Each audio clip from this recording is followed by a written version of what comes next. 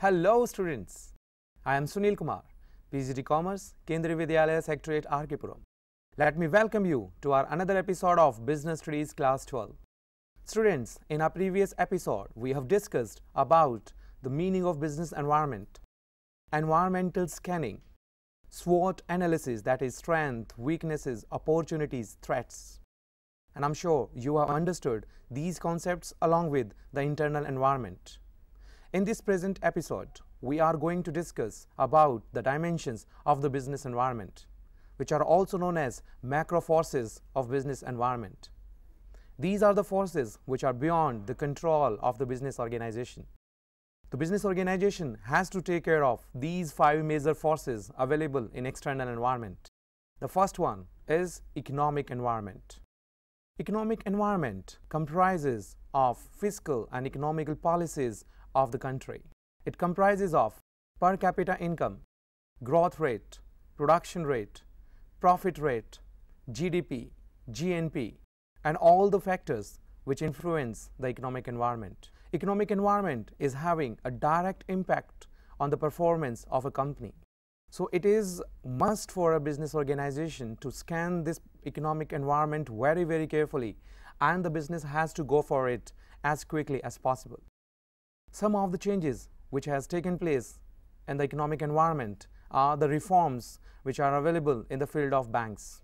Before 1991, if the business organizations, if they are going to get loans from the banks, it was very, very difficult for them because they have to go for a lot of formalities. They have to go for a lot of things to do which were of no use. But in new industrial policy, all these hurdles were taken off. And now the business organizations can get the loans very easily and quickly from the banks.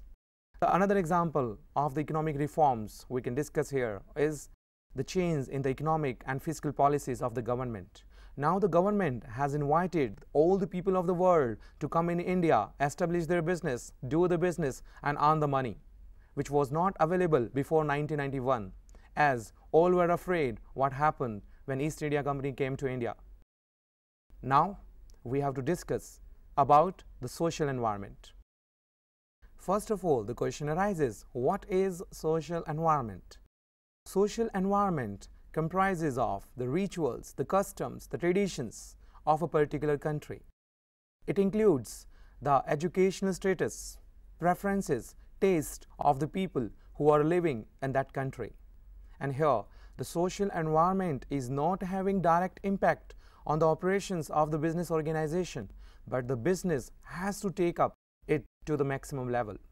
Let me give you an example to understand the importance of social environment. One cola manufacturing company gave one slogan in its advertisement that was come alive. And one particular reason, the people of that reason, they were very apprehensive. They were taking out the meaning of come alive as come out of graves and the people of that reason completely boycotted the product of that particular company. As a result, there was no demand of the product in that particular region. As a result, the business organization, that particular company has identified that that a particular segment of the country are not contributing by buying the products of the company. So they changed the slogan with some other and now the company is able to generate demand in the market in that region as well. So now we have understood by hurting the sentiments of the people, no company can survive in the market. Now let we go for our third major component of macro environment and that is political environment. Political environment comprises of the political parties which are in force, their ideologies, the character of the political leaders, the attitude of the political party towards the various sections of the society and in particular towards business and industry. The business and industry has to identify the importance of political environment as it is the most impressive and the direct environment which is going to affect the operations of a business organization. So business organization must scan the threats or the opportunities made available by the political environment and then the business has to capitalize on the opportunities and they have to cope up with the threats which are imposed by the political environment in front of them. Let me give you an example to understand that. Few days back, it was in news that Maharashtra government is going to ban the gutka in that particular state. So it is a warning signal for the gutka manufacturing companies because they know after some time there may be restrictions on their business. So they have to look for some other states to carry out manufacturing and their business in the field of gutka. There is another example in the field of political environment. Back in 1977 when Janata Party was in force, it gave ultimatum to all the foreign companies to leave India as quickly as possible. And now, in the year 1991, when new industrial policy was announced, the doors of Indian economy was opened for all the institutional investors which are staying outside India that they can come back. And the companies which left India in 1977, they came back in the year 1991 and now successfully operating in India. Students, now our next force in the macro environment is legal environment. Legal environment comprises of all the rules and regulations which are enforced in a particular country. It includes all the legislations which are passed in the parliament and now in force in the country. A businessman has to comply with all the requirements of the government at the local level, state level and at the national level.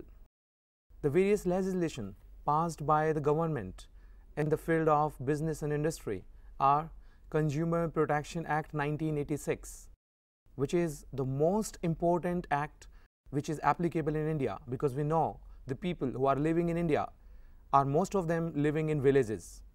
They don't know what type of things they have to keep in their mind before buying the products in the market. Most of them are illiterate. So it is the responsibility of the government to pass such a legislation which will give strength, which will empower the people of the country that whatever they are going to buy, they are not going to harm in any way. If a businessman is found in selling the goods which are expired, then they will be penalized for the same. So here the business environment has to scan its legal environment very very carefully and then we'll see what part of it is applicable to his own business organization and he, has to comply with all the rules and regulations blindly. Now, but last but the most effective external force is technological environment. It comprises of the method of production taking place in a particular country. It comprises of buying of high-tech, new innovated machineries so that we'll be able to manufacture good quality of products. It will enable us to understand that the company won't be able to survive unless the company is giving quality products to the consumers and at fair prices. The company is not going to charge an extra amount of the same. For example, if the cost of a product is 100 rupees, then 20% profit is considered as fair. So business has to keep the price at 120 rupees. So in technological environment, the business has to take care of the type of technology the business organization is using the business has to take care of that what competitors are using ultimately after the manufacturing of the products the company has to take care of the product that it must be sold in the market at any cost and the company can do this only when the company is able to produce the goods which are of superior quality than of its competitors so here, in this technological environment, business has to take care of the new technology goods, new technology-based machineries, so that the business will be able to cope up with the competition which is given by the competitors in the business environment. So now here we have just come up to all the five major forces of the business environment and now we are able to decide that what type of policies we have to adopt to cope up with the changes which are taking place in the five major forces of the macro environment.